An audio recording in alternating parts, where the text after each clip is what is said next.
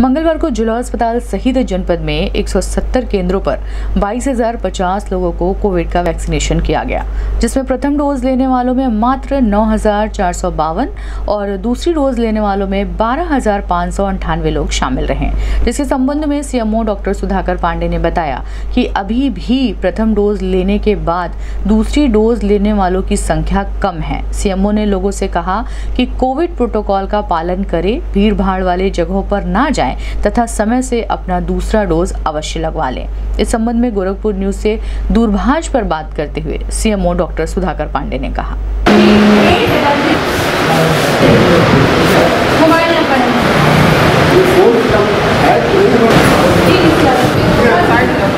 चौरानवे के साथ आठ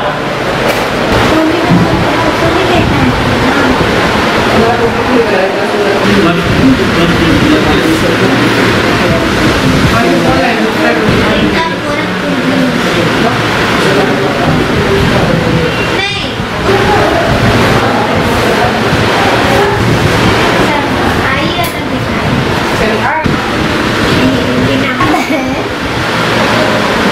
मेरा खराब है क्या रे दीदी कैसी रह कैसी रहती है हमको पहले न दीदी बिना पापा आज दे थे वहाँ पे नहीं बस है देखिए ज़्यादा नहीं भर रहा है आज करेगा आज हमारे जनपद में एक एक सौ सत्तर जगहों पर वैक्सीनेशन, कोविड वैक्सीनेशन चल रहा है। आज हमने बाईस हज़ार से ज़्यादा डोज लगाया है।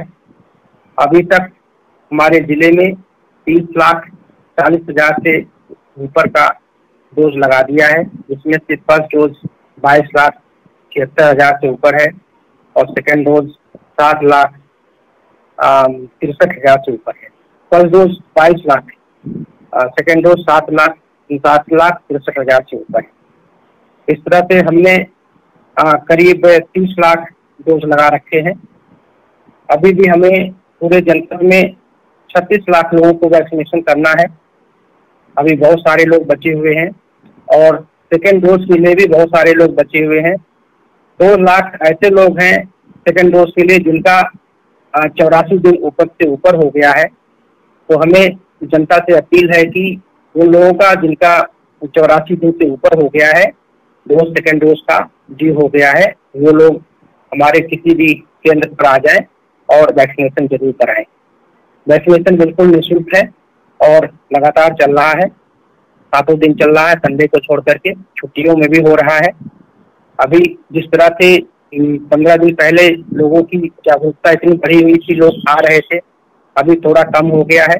लेकिन हमें लगातार जब तक पूरा का पूरा हम वैक्सीनेशन सबको ना दे दें, तब तक पब्लिक हमारा सहयोग करे और हमारे केंद्रों पर बूथों पर आए और अपने वैक्सीनेशन ज़रूर कराए।